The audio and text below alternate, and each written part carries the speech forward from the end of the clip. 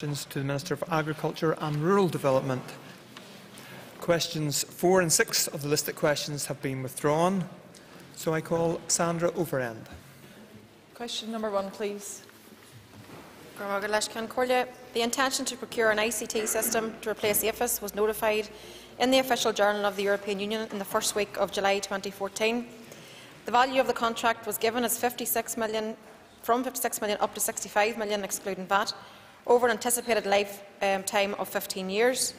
This value is based on the projections and the estimates employed in the outline business case. It includes the costs of NIFIS's initial development and testing and support for the migration of data and transitioning from DARD's existing systems. This anticipated cost also covers the system's support and maintenance over its 15-year lifetime and any further development, enhancement or upgrade that may be required within that period. Sandra Overend. Thank you, Mr Deputy Speaker. Can the Minister give a commitment um, that as her department enters into a budgetary cycle which she herself admits uh, is immensely difficult, uh, she will review her decision to spend so much money on the new system and in particular revisit it to determine if there are any areas which cost savings could be made? I can assure the member that the Department have done its homework in terms of the outline business case and making sure we cost the system fully, and that's all been done and it's fed into um, the estimate that's been set out in the journal. But you have to remember what this system does. This system gives us quality assurance. This system allows us to stand above others in terms of going into other export markets, targeting new markets, because we can say we're fully traceable. We have a system that stands over that. So that's the value of the system. And I think on the scale of things, it does sound like a considerable amount of funding, 56 to 65 million. But you have to remember that's also over 15 years, and it is the ongoing maintenance, and it is also um, will be able to respond to any change in needs that the industry may have. So I, I think it will be um, a well worth investment that the industry requires, and we require if we're going to be successful in achieving the aims that have been set out and going for growth, which are around target new markets. I call Joe Byrne. Thank you, Mr Deputy Speaker. I thank the Minister for her comments on NIFIS. Can the Minister assure the House that a project team is in place and it will be effective in bringing in a cost-effective system within an agreed timescale that meets the needs of the farming community. Yes, I can assure again assure the member that um, we're doing everything that we can. This system is so important to the industry. Um, it records all the data, it records all the information, so it's so important that as we work our way through the process, and this has been some time in the making to get us to the stage now where we're out for tender, um, it's so important that the system's right, that it's appropriate, that it fits the needs of the industry, and that's certainly what the project board are um, establishing and working up as we speak. I call Declan McAleeren. Uh, could the Minister elaborate on the necessity for such an ICT traceability system? Yes, again, you know, and I've made this point on a number of occasions, but I do think it's important that we do um, make it. What we're talking about here is somewhere between about 3.7 million and 4.5 million per year over 15 years, which gives us full traceability for the industry, which allows us to target new markets, which allows us um, to, to, really showcase what we have to offer to say that we've got full traceability. And the member will, will um, be acutely aware that over the recent um, horse meat issue, our industry was able to stand above others because we had full traceability system. So that's the value of, of this system and why we need to procure to make sure that we have a new system that's in place that will help our vet service but also help the industry in terms of the traceability and it helps us in terms, of said, the vet service around the TB work and everything else that, that happens. So it, it's a necessity for the department. Um, we're making sure, and the project board is making sure that we have um, uh, crossed all our T's, dotted all our I's in terms of making sure that we're getting absolute value for money, that the system is able to respond to the needs of the industry, and I'm confident that that's what we're going to have.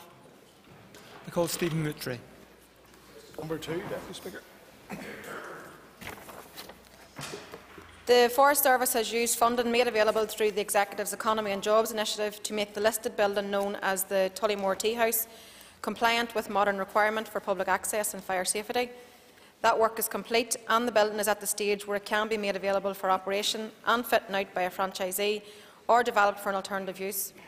The Forest Service is working in partnership with Down District Council on the Council's plans for the overall development of Tollymore Forest Park and officials attended a presentation of the consultant's advice to the Council shortly before Christmas. Forest Service was informed that the Council anticipates a need to provide catering facilities. Details for further involvement by the Council or a franchisee have still to be developed. Efforts to find a franchisee, a franchisee um, continue some, for some time after the previous tenant left in 2002 without success. The chief reason for is believed to be the high costs of operating the building and the difficulty for someone in making an adequate financial return. Since then, the Forest Service has offered a mobile catering franchise to meet summer demand and tenders for the 2015 season are invited by the 23rd of January this year. I call Stephen Moutray for supplementary. Thank you, and I thank the Minister for her response. Tollymore Forest Park is one of the most utilised outdoor forest parks in Northern Ireland. Can I ask the Minister, will she do everything she can to see that there is some food provision for this summer, given the numbers of tourists that visit not only locally but also from international? Yes, and I agree with you, and I agree with the potential for the forest. Um, as I said, officials are continuing to work with the council in terms of making sure that we at least have the, the current arrangement in place for the summer of this year, but we're obviously more keen that we get a, a sustainable longer-term solution, and we're actively working with the council to do that. I call Sean Rogers. Thanks, Minister, for your answer thus far. Minister, will the Department give an assurance that it will consult and cooperate with the councils before making any forestry franchises, particularly that the councils have spent quite a bit of money in, in putting business cases forward for such facilities? Yes, absolutely. The development at the forest has been in conjunction with um, the council, and as I said, officials attended those, that meeting just before Christmas with the council officials. So we're very keen to make sure we work with our partners. Key to the departments and to the Forest Service, social and recreational use of forest, is that community partnership, is that um, partnership with council. So for me, it's vital. That's the only way that we can take these projects forward if they're going to be successful. Moving on, I call Raymond McCartney. Yes, number three. Question number three, please. I'm pleased to report that 40 events have now been held across the rural north to encourage rural dwellers to join the new local action groups. It's encouraging that over 2,000 people have ex expressed an interest in being a social partner on the new LAGs and indeed have completed a membership form. 600 people have indicated further that they would prefer to sit on a lag board, be a lag board member, and others have expressed an interest in being involved in the day-to-day -day work of the lag, such as sitting on assessment panels. This is great progress, and I believe these figures show that there's a clear evidence of the interest out there in rural communities for people to have their say in how funding is invested in their rural area. The LAG process will continue with LAG boards being selected by the end of January, and I look forward to um, the new LAGs and their contracts being awarded as soon as, um, as the operational programme is approved by the European Commission. I call Raymond McCartney. Last concoiler was going buegas don era don fragration. Can I thank the Minister for her, her answer? Uh, she, she said at the end that she was waiting for I think, some sort of clearance from the European process, but has she any indication on when the actual application bids will open? Yes, the operational programme is with the Commission. We had initially hoped to have um, some initial com uh, conversation with them or confirmation uh, of, um, of their views on the programme. That hasn't happened yet, but we're still um, aiming towards um, June time to be able to hopefully get um, things out um, get things officially signed off. However, in the absence of that, what we're going to do is um, develop the local programmes, the local leader programmes will be delivered by these new local action groups, so they can be working on that. And we actually hope to open for um, what's called animation, basically open and ask for expressions of interest of, for new projects coming forward in, um, towards the end of April, um, start of May 2015. I call Robin Swann. For answer in regard to members, can the Minister give an update on how LAG staff members will be transferred between the old LAGs and the new LAGs? I um, can give the member more detail in writing. I don't have that detail here, but suffice to say, we're working with the councils because obviously um, they were the employers of, of, the staff. So that's all a process that's been worked through at this moment in time, but I'm happy to provide the member with more detail in writing. Call Kieran McCarthy. Deputy Speaker, and I thank the Minister for her response so far. Could the Minister advise the Assembly um, on the suitable social partners, and would that include conservation groups uh, who already do excellent work throughout Northern Ireland? Yes, absolutely. We're, we're, really keen that we get as many um, views around the table as possible. That's why we've actually gone out and really um, run very hard in terms of trying to reach new people, maybe don't necessarily have been involved in in lag structure in the past. So I think, given the numbers that have come forward, there's, there's certainly, from a quick look through the, through the list, there's certainly quite a wide range of, of people consider or including conservation groups. I call William Irwin. Can I ask the Minister, is the Minister confident that the time frame of June can be met for the opening of new applications?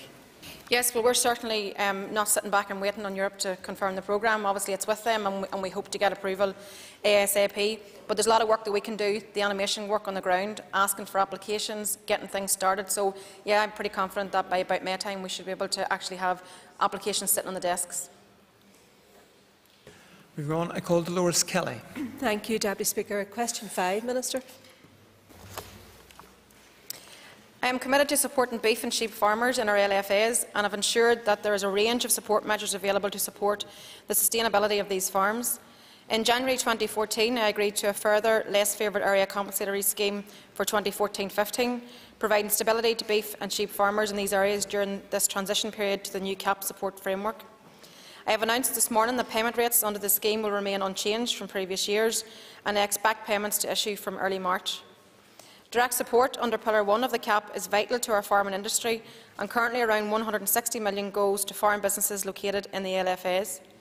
Implementation of CAP reform this year will bring changes for many farmers, but the overall level of direct support going to LFAs, and particularly the severely disadvantaged area, will increase slightly year on year. The new Rural Development Programme will provide opportunities to join a new agri-environment scheme, help facilitate integration and cooperation in supply chains, and provide training, advice and support to help improve efficiency.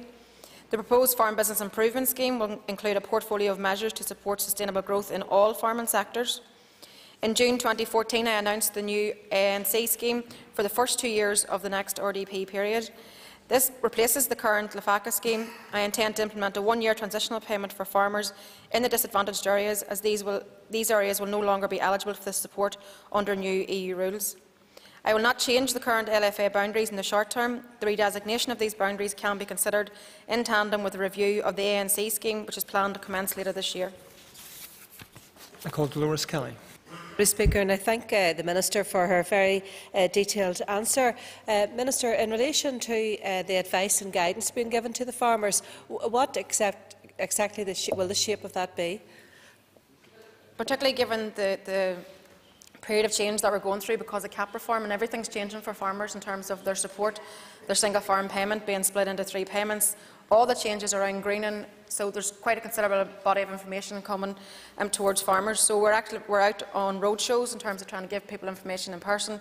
Um, there's a question and answer on the DARD website. We have a DARD helpline, and I encourage farmers who are in any doubt on any issue to, to seek um, advice and guidance. We also, through our CAFRE advisors, have people who assist um, farmers in terms of their business development and, and how um, they take their business forward. So there's a lot of advice through CAFRE also. So I, as again, I encourage farmers to, to take those opportunities. I call Ian Milne. Thank you, uh, Mr. Speaker or Deputy Speaker, and uh, thank the Minister for answering thus far. Uh, how can the Minister support low and volatile incomes uh, on LFA beef and sheep farms? I, I recognise that LFA beef and sheep farmers operate in what is um, obviously, by nature of geography, a very challenging economic environment, and farm gate prices are not as high as farmers would like. Input costs have increased in recent years, exchange rates are volatile, and the current weakness in the euro all impacts on returns from exports and reduces the value of single farm payments. I've worked hard to ensure a fair deal for LFA farmers under CAP reform that will come into effect this year. The new RDP also contains much that will benefit LFA farmers. I have also continued the LAFACA payment into 2015 and maintained the level of payment per hectare. Overall, my department is delivering a package of measures that will improve and sustain LFA beef and sheep farmers. I call Joanne Dobson. Thank you, Mr. Principal, De Mr. Deputy Speaker. Um, can, I, can I ask the Minister to clarify how many farms received less favoured area support in 2014-2015 and will no longer be eligible to receive such support? And can she provide an update on the estimated value of the one-year transitionary payment?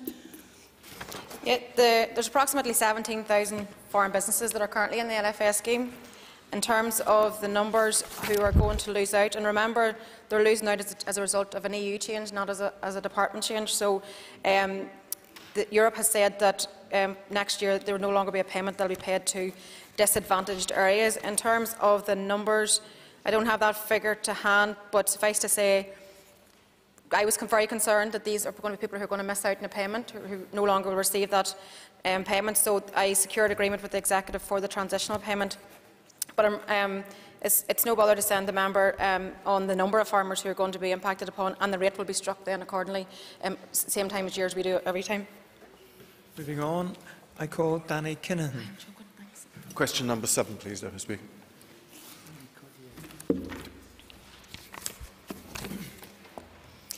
The position on agricultural property relief was outlined in a letter from the British Treasury to the then um, Ministers of Agriculture and Rural Development and Finance and Personnel in December 2009, and that position remains unchanged.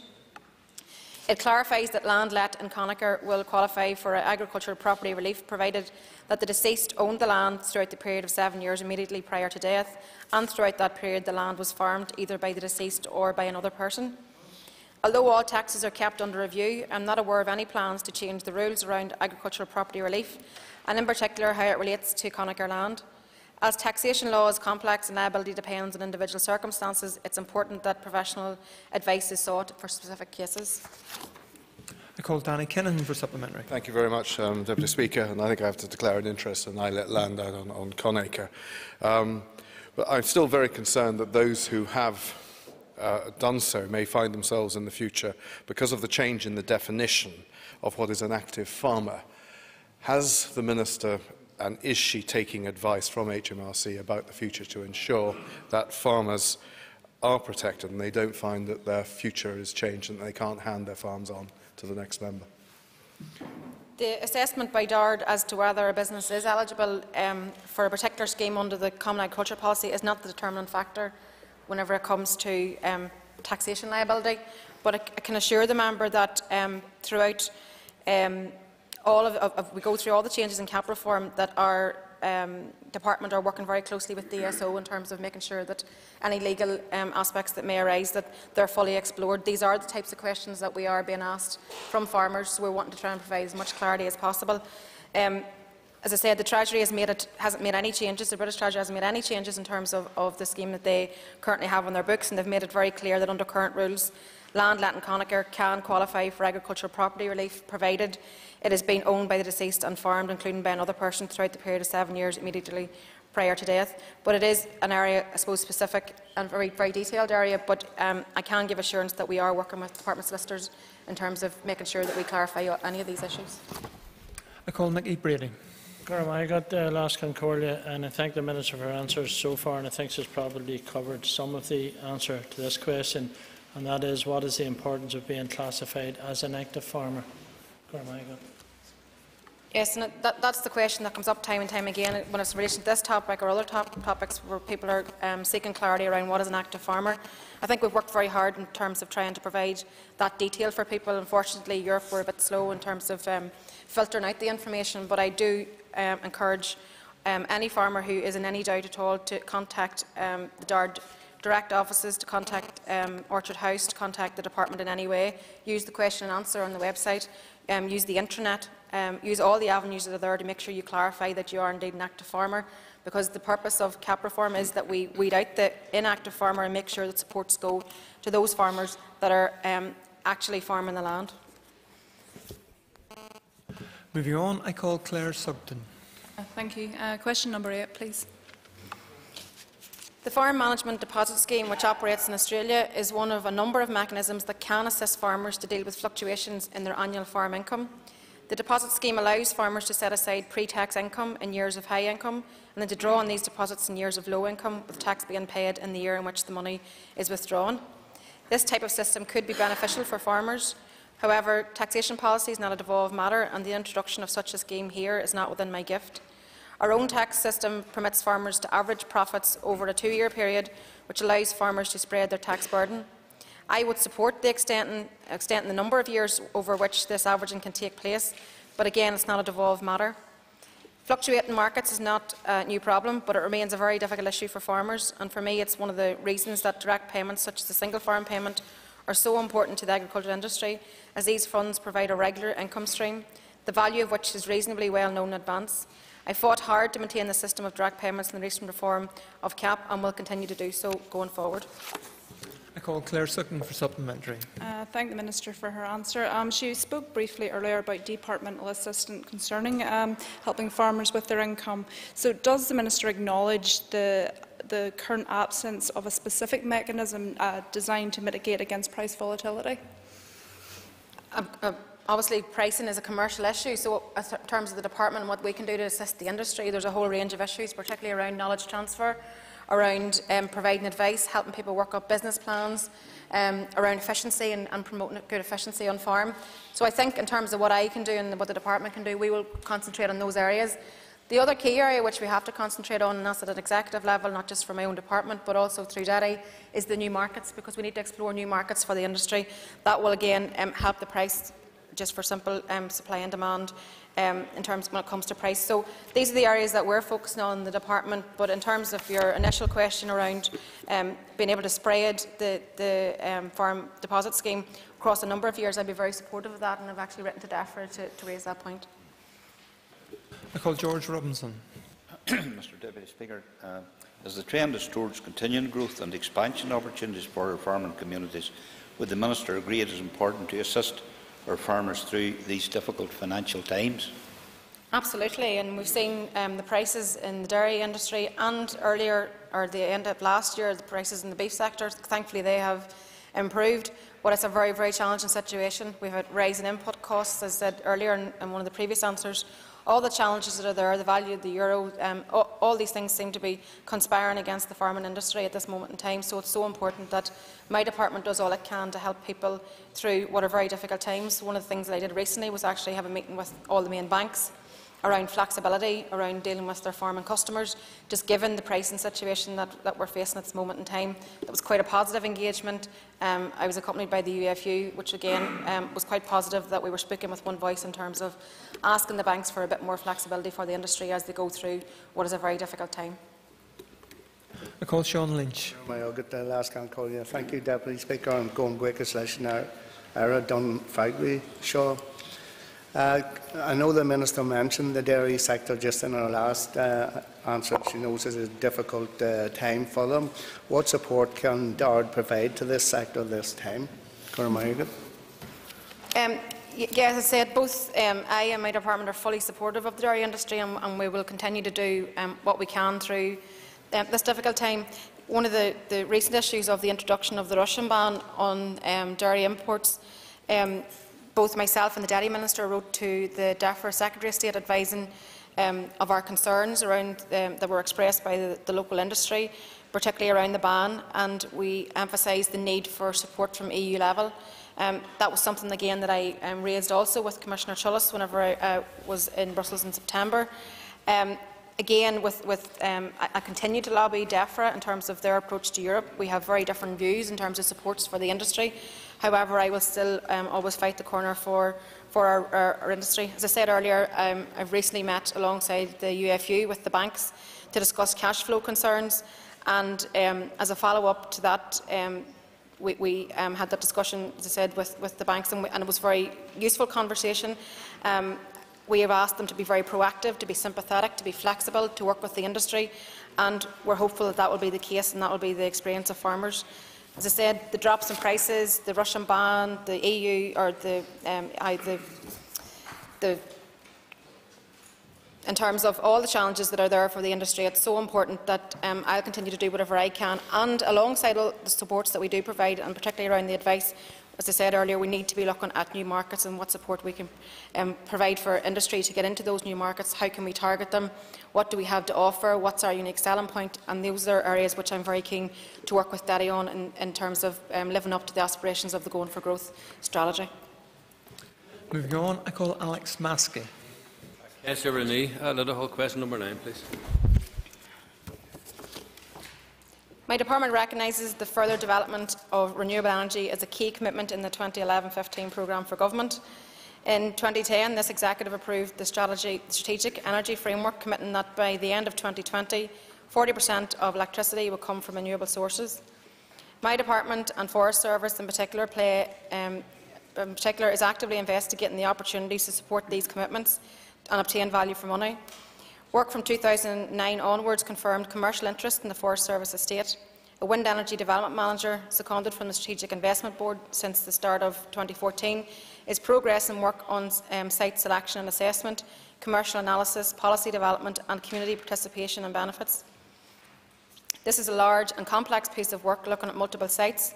The business case must be robust and it must pass the test of the approval process.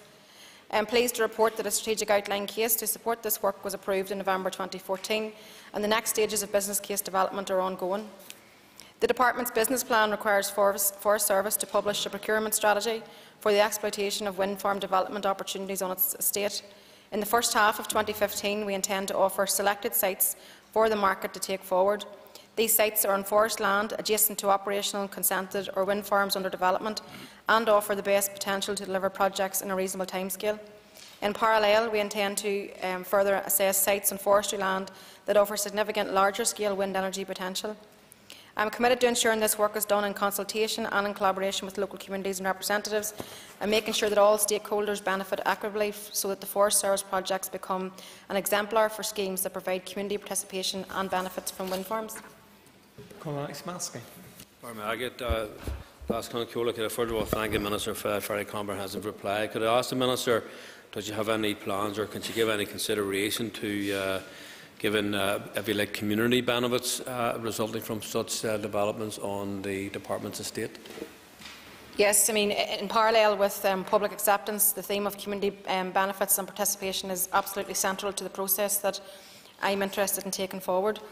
It's a specific work stream um, of the wind development plans that Forest Service are taking forward to review and report on what community participation and benefits models exist in Ireland and other relevant jurisdictions to stress test these models and their suitability for deployment on publicly owned sites, i.e. Forest Service lands, to present this information to community stakeholders in advance of wind farms plans um, coming forward. So that's key that we actually do that community involvement from the initial stages and that they're very much part of it. As I said, it's essential to the successful um, exploitation of opportunities on the forest um, estate to ensure that all stakeholders benefit equitably. In particular, this means early and appropriate engagement with community stakeholders to ensure that whatever schemes are proposed for community participation and benefits are understood and considered acceptable. This may require Forest Service showing leadership in this area and potentially in advance of the work that's being taken forward by DETI, because DETI are also in, in, the process of currently developing an action plan. Um, and my department actually works with that, but in, in, in, waiting for that to come forward, it's so important that the community benefits and participation are, are key to any, any projects that move forward. I call Patsy McGlone. Alaskan Quagas Moiha slash Ira Kamayas and Cragrish Kemsi action. Uh, thanks very much, Mr Deputy Speaker, and I thank the, the Minister for her comprehensive answers there. Um, in light of the collapse of the wind turbine at Fintona, could the Minister provide us with some detail as to what health and safety, construction and location guidelines would in fact be used by the department, by her department, uh, with the construction of these, these turbines on departmental lands? Yes, um, I watched very closely and, and, talked to some of the residents in that area. Um, it was quite, I believe it's quite an unusual event what happened. That's not to say that there shouldn't be, there needs to be a full investigation into the ins and outs and what happened and, and, and why it went wrong. And I believe that that's an investigation that's underway and we look forward to, to the outcome of that. But absolutely central to any project that will be going forward under Forest Service land will obviously have to be health and safety concerns. That will all be in, built into the pro programme and the planning going forward. And I can assure the member that they will be of the highest um, standards in terms of the health and safety um, asks, which we will be requiring in terms of um, anything that goes on to Forest Service land. I call Tom Buchanan. Thank you, Mr Deputy Speaker. It's along the same lines and it's just exactly what uh, consideration the Minister and her department will be given to the safety issues of any new wind farms that are going on the um, proposed um, grounds uh, belonging to the department. and it'll be the same answer in terms of um, they'll have to be um, key to any project going forward. They'll be all inbuilt. I call Pat Ramsey. Question 10, Deputy Speaker. The draft budget for DARD envisages that we would reduce our staffing by around 300 posts by the end of September 2015. For the second half of 15-16, that would affect a saving of 5.6 million and then an annual saving of around 11.2 million thereafter. We anticipate staff leaving the department under the voluntary exit scheme from the autumn of 2015. The 300 posts will be spread widely across the functions of the department, but it is not yet possible to be precise about which posts or functions will be affected. However, my priority will be to continue delivering services to our customers in the most efficient and professional way, but this may mean changes to the services and how we deliver them. My officials have already commenced a number of reviews of the department structures and operating models to identify where the reductions will come from and how services will need to change. The department is committed to a review of advisory services and the development of our customer contact model. We are also exploring the greater use of technology, of new technologies and digital services to achieve further savings. It's not yet possible to estimate the number of DARD sta staff that may avail of the Civil Service um, Voluntary Exit Scheme, but we will be using other opportunities to achieve staff savings, such as natural turnover through retirements, resignations and other levers. The Department is also participating in the Civil Service-wide embargo on recruitment and promotion and reviewing the use of agency and casual contracts. And that is the end of our period for listed questions, and we now turn to topical questions, and I call Máirtín Ó Muilleoir. Míle buchas a lás chun choirle, Bhil am ceiste chur an aire maidir leis sin gríomhaíocht honscléach a ggéisce thuisgur éan agus a honathair ar airmúirí. Uh, I wonder could I ask the Minister what steps she has taken to minimise the impact, negative impact on farmers of the recent uh, NI water industrial action? Yeah, the, the situation is very unfortunate, I suppose, to say the least, as well as the, the risk to individuals and to homes, water supplies, vulnerable groups. It has the potential to affect farm animals. Farm animals also rely on fresh drinking water, and farmers also need clean water supplies for um, dairy hygiene purposes. My officials are working closely with NI Water to find ways to minimise any disruption. Farmers that are experiencing significant water shortages um, during the current industrial actions should, take, should contact NI Water in the first instance, um, but also advice on water requirements and dairy hygiene. That's also been available on the DARD website, but I encourage farmers who are experiencing any animal welfare problems to contact our DARD helpline, which is 0300 200 7852. Nicole Máirtín Ó Muilleoir for supplementary. Gurmahir last Gurmahir Ara, um, she she plugged the hotline there. I wonder could she could the minister tell us how many calls have been made to the emergency hotline in that regard? Yes, uh, just I suppose I should have added that um, we're working very closely with DRD and um, there's a multi-agency teleconference which happens um, daily, which the department is, is um, involved with.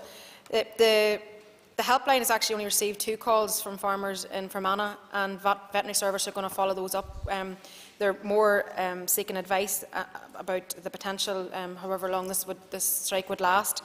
So there are concerns, and as I said, I would encourage um, farmers to contact that helpline if they need any support. And I now call Thomas Buchanan. Thank you, Mr Deputy Speaker. Minister, you will be aware that following a two-year campaign by the Southern Government, Irish beef is now back in the US menu after a 16-year ban. Can I ask what you and your department are doing to get the, um, an opening in the same market for the beef sector here in Northern Ireland? Yes, and, and, core to the work that we did around going for growth and the strategy that's been set out is the fact that we need to be targeting new markets. We're also um, working very closely with DETI in terms of Invest and, and, the work that they do around the world in terms of targeting these new markets. And if we're back to the problems we talked about earlier around the, the difficulties that are facing farmers, that unless we find new markets, um, prices are going, to continue to, be low. So it's so important that we do that. We've had some opening in new markets actually over recent months, um, South Africa being one, um, and we will hope to also get into the American market and we'll be working to, to, make sure we do that. We're a small island. What we offer has got full traceability.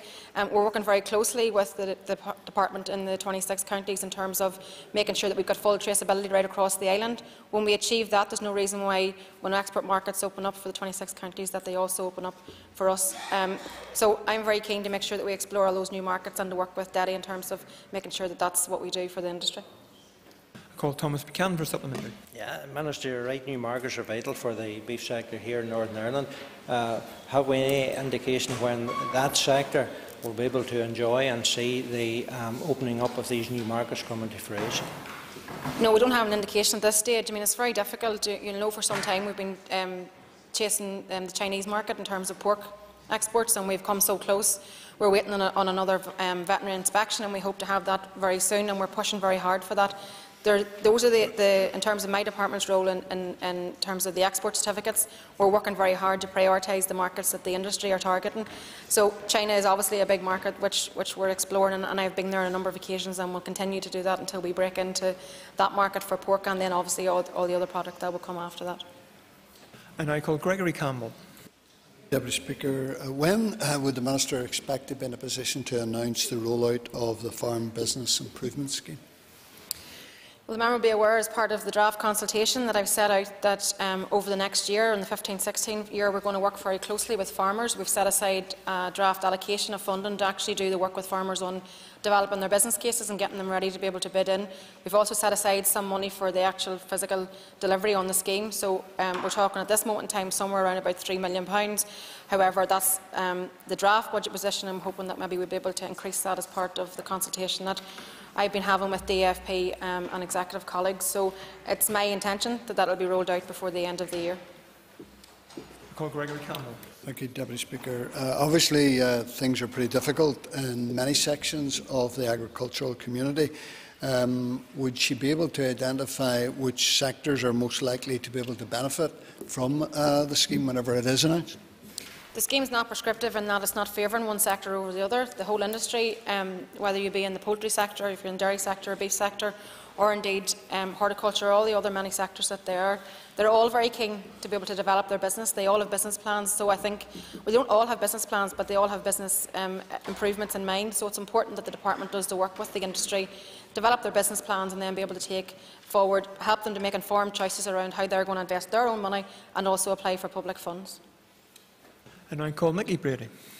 I got uh, last Concordia. Uh, how has the Minister acted to protect our priorities in terms of the 15-16 budget? Um, well, I suppose it, can I start, as I always do when it comes to budget discussions, around um, reinforcing our dismay at the um, extent of the Tory cuts to fund public services here and the challenging position that it puts all of us in. The scale of reductions are unprecedented, and particularly when it comes to my own department, trying to find 29.9 million resources, quite a challenging um, task. That being said, I've tried to take a very balanced approach, and we've tried to um, bring, address the challenges that lie ahead. I'm resolved to deliver the commitments that um, were assigned to DARD in the programme for government, as well as my key policy objectives, particularly around going for growth, around TRPSI, ANC, the leader approach, DARD HQ and flood alleviation. These are key areas for me and what I've set out uh, in the draft bu budget position. These are the areas which I um, feel that we need to focus on. Um, to protect the funding for um, the key priorities, I've considered all elements of the DARD budget, and that review included the scrutiny of operational and running costs of DARD, as well as opportunities to leverage in additional sources of income. The draft budget proposals include £6 million of additional income that will help deliver a balanced budget. In addition to the savings plans, I'm also resolved to seek and secure um, additional funding to deliver the commitments made by the Executive back in June of this year, and that includes funding to support the new Rural Development Programme and Going for Growth in particular. And I'm aware that the Finance Minister um, has previously in the House expressed words of support in relation to Going for Growth, and we now need to see that translated into a financial commitment. I call Mickey Brady again. Thank the Minister for her answer. The Minister has acted to protect the TRPSI programme can the Minister outline what is allocated from that programme in 15-16? Yeah, rural poverty and social isolation programme is, um, I'm glad to say, is on course to meet its full um, spend allocation, which we had allocated up until this year. And the proposal to extend the programme into an additional budget year um, provides more funding to tackle the key issues of rural poverty and isolation. It's been um, seen very much so in terms of um, reviewing the responses to the draft budget. It's been seen as a positive development by DARD stakeholders and partners. The resource allocation allows DARD to continue to support all existing schemes at the required levels in 15-16, and that includes um, the great projects such as MARA, um, the Arts Connecting Elderly, Rural Isolated, Farm Family Health Checks and Young Entrepreneur um, projects. We're also able to do some more work in terms of improvement for broadband in rural areas. We're going to be able to open up a Rural Challenge programme, providing community and voluntary groups with access to small-scale capital funding.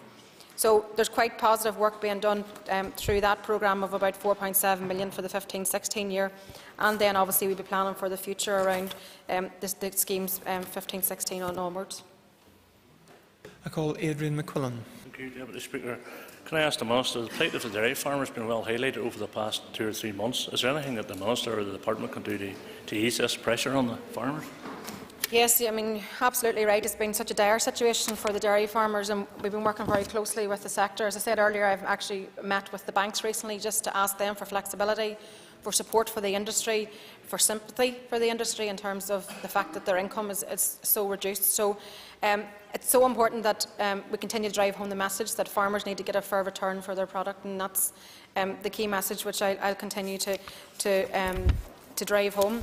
The other areas of support, which, um, as I said earlier in, in, previous answers, we work very hard with the industry around um, making sure that we knowledge transfer, that we're uh, pr um, providing support around efficiency, around education and training, around technical support, around AFBI research programmes. Um, there will be opportunities for support for the industry under the New Rural Development Programme. So there's quite a, a, a number of areas um, of work that, that we're um, targeting, that alongside the work that we're doing around targeting new markets. I call Adrian McQuillan for supplementary. Yeah, thank the Minister for her answer. And my supplementary answer, her question was, could you meet the banks? But you've already said you've met the banks, but did you get a fair hearing at that meeting? Yes, I did. I, did. I met the, the, banks with the UFU, and I, I, um, it was all the leaders of the main banks, and I, we did get a fair hearing. Um, they understood the, the, call that we made around flexibility and around um, support for the industry. Um, how that translates on the ground will obviously be evident and farmers will know that for themselves, but I'll continue to put um, political pressure where I possibly can on those people that can assist the, the industry at this, at this moment in time, and banks are obviously key. I call Caitríona Ruane. Thank you, uh, Mr Deputy Speaker. And I wonder, could the Minister give me an update on the decentralised programme to Down, Derry, Tyrone and Fermanagh? I can. Um, I remain committed, obviously, to taking forward the, um, all reasonable steps to make sure we effect the transition of, um, of the Belfast-based headquarters to one in Ballykelly the relocation of fisheries into South Down, forestry into Enniskillen and Rivers Agency into um, Loughry campus in Cookstown.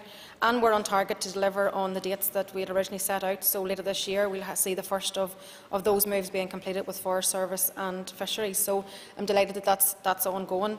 Um, it's been it's a considerable um, piece of work. The member will know that I'm very committed to the relocation programme. It is about a fair distribution of public sector jobs and it is about fairness across the public sector. So we'll continue to drive forward with that and I have set out um, my commitment to that in terms of the draft budget position around the capital allocations. I call Caitríona Ruane. agus gan buchas den airad an freigar sin. I'd like to thank the Minister for that and particularly welcome the decentralisation to my own constituency uh, and that it's on target. Um, and I wonder could the Minister provide an update on staff surveys which have been carried out to identify interest in re relocating to the new areas? Yes, um, surveys have been completed now for all four locations in order to gather more detailed information because we've done some scoping work in the past. Um, and whilst I think there were some concerns at the start that, while, that there were a number of people within DARD headquarters that didn't want to move, the, the, um, further work that we've done now has been it's generated quite an overwhelming response with over 4,000 staff who have registered an interest in wanting to seek one of these posts. That's far more um, people wanting to apply than the posts that we have. However, I think that shows very clearly that there is a need for a change in the public sector. It shows very clearly that there's a need for individuals who, who want to find a better work-life balance and who want to find a job closer to home. So in, in terms of in Ballykelly alone, we've had over 1,500 people who, who wanted to apply to go there. Cookstown, over 1,000. Downpatrick, almost 1,000. Enniskillen, 435. So that, to me, shows a significant appetite for posts outside of Belfast. Detailed analysis is now uh, currently underway, and that will determine um, the grade matches between those who have expressed an interest in Dard and the positions that we have for each location. But I am very enthused by the numbers of, of um, staff that have decided that they want to um, work in a different location and work out of the Greater Belfast area. That's very positive, and it clearly, um, I think, shows again that there is a need for this change across all departments. I call Paul Girvan. Uh, that a lot of issues associated with the department are going for growth. Um, what mechanism is in place to ensure that those uh, young people are encouraged into farms in Northern Ireland?